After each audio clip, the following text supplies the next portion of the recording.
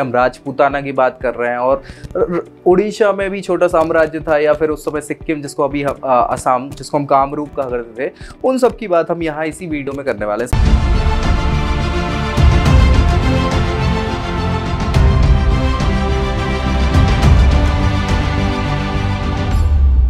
Hello दोस्तों, स्वागत है आपका हिस्ट्री कवरी में, जहाँ हम बात करते हैं इतिहास की। इतिहास में हम उत्तर भारत के 15वीं 16वीं शताब्दी के कुछ राज्यों की हम बात कर रहे हैं, जो स्वतंत्र अवस्था में पाए जा रहे थे उस समय, जिनमें हमने लगभग सभी बात कर ली और अब जो बचे हैं वो हम इसी वीडियो में खत्म कर लेंगे। जैसे हम राजपूताना की बात कर रहे हैं और उड़ीसा में भी छोटा साम्राज्य था या फिर उस समय सिक्किम, जिसको अभी असम जिसको हम कामरूप कहा करते थे, उन सब की बात हम यहाँ इसी वीडियो में करने वाले हैं। सबसे मेजर जो पोर्शन है वो है राजपूताना का। तो चलिए देख लेते लेते हैं राजपुताना। इसमें मेवाड़ जो है, वो राजधानी रहा है, इसलिए प्रमुख हो जाता है मेवाड़। चलिए, पंद्रहवीं शताब्दी के दौरान मेवाड़ मेवाड़ मतलब बहुत इंपॉर्टेंट जगह का नाम है। मेवाड़ के राजा ही हुआ करते थे, राणा सांगा हो, चाहे राणा कुंभा हो, चाहे महाराणा हो, सभी के सभी। कौन थे ये मेवाड़ के राजा थे? उससे पहले रतन सिंह हो गए हों, या फिर सारे राजा। ठीक है, वो किसके थे? मेवाड़ के थे। तो मेवाड़ अपने आप में राजपूताना की शान हुआ कर रहा था, राजधानी हुआ कर रहा था। उसी की बात कर रहे हैं, मेवाड़ राजपूताना का सर्वाधिक शक्तिशाली और महत्वपूर्ण राज्य हुआ करता था। ठीक है, मेवाड़। इस समय सिसोदिया वंश। देखो यार मैं आपको बता दूँ पूरे इतिहास में सबसे पुराना वंश माना जाता है या सबसे लंबे समय तक चलने वाला वंश माना जाता है वो सिसोदिया वंश माना जाता है। 500 एडी से स्टार्ट होके 500 साढ़े पाँच से आज तक आज तक मतलब आज की बात कर रहा हूँ मैं 2022 की। आज भी सिसोदिया वंश आप जाएँगे राजस्थान में तो सिसोदिया वंश बाकायदा चलता है। सारी चीज़ें वहाँ राजे महाराजे जो है राजकुंवर और सारा वो, वो पूरा ट्रेडिशन चलता है बस अब उनके साम्राज्य और वो नहीं बचे हैं लेकिन उनका किला भी है, उनका पूरा राज्याभिषेक भी होता है, सारी चीज़ें आज भी वो ट्रेडिशन फॉलो करते हैं। तो सिसोदिया वंश जो है, सबसे प्रमुख राजवंश है राजपुताना का, बराबर से। ठीक है? सो सिसोदिया वंश का शासन यहाँ पे हुआ कर रहा था। कहाँ पे? मेवाड़ में हुआ कर रहा था। 1303 में। ये बहुत इंपॉर्टेंट है, हमें सबको पता है 1303 में अलाउद्दीन खिलजी का दिल्ली सल्तनत का शासन हुआ करता था और अलाउद्दीन खिलजी ने मेवाड़ की राजधानी, मेवाड़ की राजधानी क्या थी? चित्तौड़।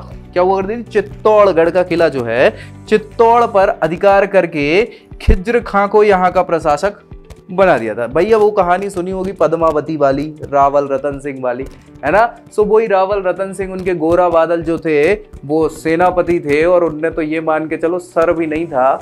सर धड़ से अलग होने के बाद भी वो लड़ते रह गए। और लड़ते लड़ते दो चार को शहीद कर दिया और फिर खुद शहीद हुए। मतलब सर ना होने के बावजूद। ऐसे पराक्रमी शासक थे और पद्मावती की वो कहानी तो सुनी होगी आपने, ठीक है? सो वो किसके समय की? अलाउद्दीन खिलजी। खिलजी वंश चल रहा है दिल्ली सल्तनत उनने क्या करा? जीत लिया बाद में चित्तौड़गढ़ जीतने के बाद किसको? खिज्र खां को यहाँ का शासक नियुक्त कर दिया था। लेकिन ये ज़्यादा दिन थोड़ी टिकने वाले थे। वापस से कब्जा हो जाएगा, ठीक है?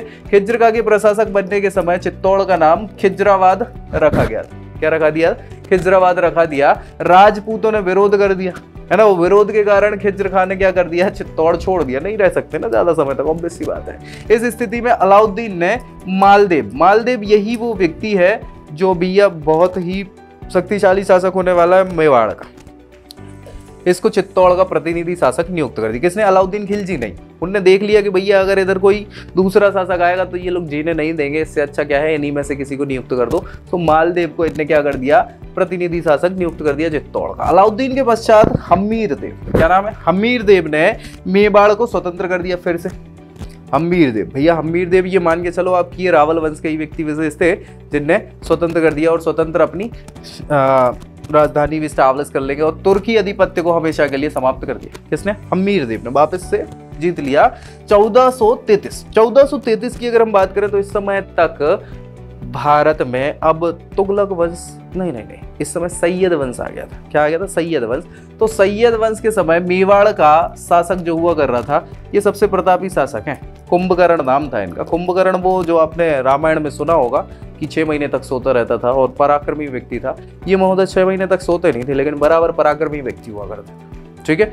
राणा कुंभा ने में जो मांडू का राजा है ना हुसंग शाह, सुना है ना नाम? है ना? उसको भगा भगा के मारा था। बाबर, खूब कूटा था। ठीक है? सो राणा कुंभा राणा कुंभा ही वो पराक्रमी शासक हैं। इनके बाद इनके पोते आएँगे, राणा सांगा, जो लड़ेंगे बाबर से, और फिर उनके पोते आएँगे महाराणा, जो लड़ेंगे अकबर से। ठीक है? सो ये चलती जा रही है वंश परंपरा। इन्होंने संभाल लिया क्या? चित्तौड़ साम्राज्य। कब? 1433 में जिसने मालवा और गुजरात शासकों से युद्ध करके विजय प्राप्त करी। और इस विजय के उपलक्ष्य में उन्होंने क्या किया था? विजय स्तंभ की स्थापना करवाई है, चित्तौड़ का। ठीक है? तो भैया, ये बहुत इंपॉर्टेंट है। फिर भैया, जहांगीर के काल में अमर सिंह। अमर सिंह की हम बात करें तो अमर सिंह जो हुआ कर रहा था, वो महाराणा प्रताप का बेटा था। ठीक है? महाराणा प्रताप का बेटा हुआ करता था और महाराणा प्रताप के बेटा ने क्या करा? लड़ता रहा मुगलों से। अकबर के समय तक तो अधीनता स्वीकार करी नहीं, फिर मित्रता कर लेते हैं ये। ठीक है? सो, मुगलों की अधीनता बाद में फिर ये स्वीकार कर लेते हैं। कौन? मेवाड़ के राजा।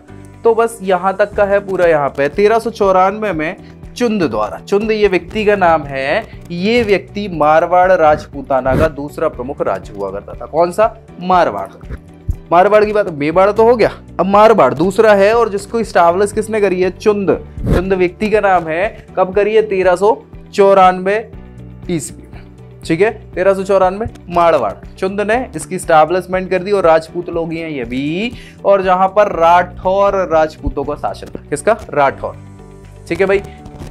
मारवाड़ में जोधा जोधा मतलब अकबर वाली जोधा के सत्रह पुत्रों ने कई स्वतंत्र राज्यों की नींव डाली अब मालदेव मारवाड़ का अंतिम शासक था, अकबर के काल में मारवाड़ का मुगल साम्राज्य में मिले हो। तो मारवाड़ भी कोई ऐसा मतलब था, तोपची भी था, लेकिन ठीक है। मारवाड़ के बाद हम बात करेंगे आमेर। आमेर के राजा कौन होंगे? मानसिंह आमेर में कछवाहा राजपूत है, ये भी राजपूत। कछवाहा राजपूत राजाओं का शासन था। प्रारंभ में है, मेवाड़ के ही अंदर। सब मेवाड़ के ही अंदर थे, फिर छुटपुट अपने ही भाई भतीजे जो है, वो छोटा छोटा राज्य खुद ही स्टैब्लिश कर ले रहे हैं, है ना? अधीनस्थ था, लेकिन चौदहवीं शताब्दी में यह स्वतंत्र राज्य बन गया। भारमल का नाम सुना होगा ना? भारमल भारमल मतलब जोधाबाई के पिताजी जो थे, वो आमेर के राजा हुआ करते थे। ठीक है, फिर इनका जो बेटा होता है भगवान दास, वो भी आमेर का राजा होगा। ठीक है, आमेर का महत्वपूर्ण शासक हुआ करता था। राजा भारमल ने अकबर की अधीनता स्वीकार कर ली थी और इस तरह आमेर भी मुगल साम्राज्य में मिल जाता ठीक है भाई? चलिए, इसके बाद उड़ीसा की हम बात कर रहे हैं। ये राजपूत शासन नहीं है, ये अलग हो गया। उड़ीसा बिल्कुल पूर्वी क्षेत्र में पड़ता है और राजपूताना पश्चिमी क्षेत्र में पड़ता है। ठीक है, लेकिन उड़ीसा हमने इसी में ले लिया है ताकि आपको खत्म कर दे। तो अभी राजपूत तो राजपूताना खत्म है। इसकी बात चल रही है उड़ीसा की। तो उड़ीसा अनंत बर्मन क्या नाम है? अनंत बर्मम ये चोल है। चोल साम्राज्य जो दक्षिण भारत में चल रहा था, कहाँ पे? पूरे तमिलनाडु वाले क्षेत्र में, वहाँ उनके शासक है अनंत वर्मन चोल ने उड़ीसा को स्वतंत्र राज्य के रूप में स्थापित किया था और कपिलेंद्र ने, कपिलेंद्र ये व्यक्ति विशेष का नाम है जिन्होंने उड़ीसा की राजनीतिक महत्व को बढ़ा दिया। भाई, उड़ीसा का राजनीतिक महत्व कैसे? अपने आप में वो भाई देखो, कलिंग कहलाता था पहले के समय में, प्राचीन काल में, और प्राचीन काल में अशोक ने भी कलिंग का विजय किया है। अब कलिंग का युद्ध लड़ा, उसके बाद तो वो बौद्ध धर्म माने लगता है, युद्ध त्याग देता है। ठीक है? सो वही जगह है जो उड़ीसा के नाम से भी फ़ेमस होने वाली है। इसके राजनीतिक महत्व को कपिलेंद्र ने बढ़ा दिया भाई। लेकिन उसके उत्तराधिकारी जो हुआ करते थे, वो भाई, वो फिर निकम में निकल गए। ठीक है? पुरुषोत्तम और प्रताप रुद्र इसके समय क्या है? उड़ीसा के अनेक भागों पर विजयनगर साम्राज्य। विजयनगर फिर दक्षिण भारत का ऐसा कर्नाटक वाला साम्राज्य है ये। ये भाई इसने भी विजय स्तंभ चालू करी, विजय यात्रा। तो विजयनगर साम्राज्य का अधिपत्य कहाँ हो गया? उड़ीसा में हो गया। फिर बाद में भाई साहब 1541 में। 1541 में उड़ीसा में भोई राजवंश, क्या नाम है? भोई राजवंश का शासन प्रारंभ होता है इस दौरान उड़ीसा में। उड़ीसा में मुसलमान और अफगान। भाई हमने देख ही लिया था कि अभी तक ये हिंदू शासन चल रहा है, लेकिन भाई, बच गया था, जहाँ पे अब क्या होगा? अफगान लोग भागते भगाते आ रहे थे। बाबर के बाद से पूरा अफगान लोगों को हरा दिया था ना बाबर ने। सो भाई, वो बचे कुछ लोग इधर, उधर इधर, उधर अपनी बचाव में भाग रहे थे एक दूसरे राजाओं के बीच। तो जो बचे कुछ लोग हैं, वो फिर इकट्ठे होंगे और क्या करेंगे? तो अफगानों का प्रभुत्व स्टैब्लिश हो गया कहा? उड़ीसा में। और सोलहवीं शताब्दी में उड़ीसा का जो शासक था, वो कौन बन गया? कुतलू खां। क्या नाम है? कुतलू खां उड़ीसा का शासक बन गया, जिसे पराजित फिर कौन करेगा? अकबर ही करेगा ऑब्वियसली बात है सबसे। शक्तिशाली शासक तो फिर वही हुआ है मुगल्स में। ठीक है? सो अकबर पराजित करके इस उड़ीसा साम्राज्य को क्या कर लेगा? अपने राज्य में विलय कर लेगा, अपने राज्य में मिला लेगा। तो यहाँ खत्म, उड़ीसा हो जाएगा। कामरूप हुआ करता था, कामरूप मतलब असम वाला जो क्षेत्र है, असम। असम का प्रारंभिक नाम क्या क्या हुआ करता था? कामरूप हुआ करता था, जो तेरहवीं शताब्दी में। तेरहवीं शताब्दी, असम जो है ब्रह्मपुत्र नदी के किनारे बसा हुआ है है ना? सो ब्रह्मपुत्र नदी घाटी में स्थापित किया गया था। क्या? कामरूप। ठीक है भाई? कामरूप पर पंद्रहवीं शताब्दी में रैवेतों रईवतों रैवतों बोलते हैं रईवतों रैवतों का आधिपत्य था कामतपुर। कामतपुर में रैवतों ने अपनी राजधानी स्टैब्लिश कर ली थी। सोलहवीं शताब्दी में कामरूप में कूच वंश क्या नाम है? कूच वंश इसका साम्राज्य हो जाता है और उस समय कामरूप कूच बिहार एवं कुछ हाजों में विभक्त हो गया था। कुछ बिहार और कुछ हाजों मतलब इनने अपने साम्राज्य को विस्तारित करते विभक्त कर लिया। ठीक है? चलिए नेक्स्ट हम बात करेंगे कालांतर में कामरूप के पश्चिमी भाग पर। मुस्लिम प्रभुत्व हो गया और पूर्वी भाग पर अहोम अहोम विब्रोज अहोम जनजाति के लोग हुआ करते हैं वहाँ पे। सो अहोम, असम में ही रहते हैं, है ना? सो अहोमों का, क्या? अहोमों का अधिकार हो गया। अहोमों ने कामरूप पर पूरी तरह अपना अधिकार कर लिया था। और फिर भैया, तब से असम जनजातीय क्षेत्र भी है। आज भी अहोम वहाँ की लैंग्वेज भी चलती है वहाँ पे। अहोम, वहाँ पे अधिकारित भी अहोम भाषा का चलता है। अहोम पहाड़ी भी है, अहोम लैंग्वेज है, अहोम जनजाति है। तो वही लोग हैं जो वहाँ पे असम में थोड़ा सा राजनीतिक प्रभुत्व आज भी रखते हैं। तब से फिर असम को कोई जीता भी नहीं, ज़रूरत भी नहीं पड़ी किसी प्रकार से। अंग्रेज़ों के समय में फिर थोड़ा सा इसको पश्चिम बंगाल में या बंगाल टेरिटरी के अंदर रखा जाता था कामरूप को, जब अंग्रेज़ों ने जीतना स्टार्ट किया। सो फिर अंग्रेज़ों के समय क्या हो जाएगा ये?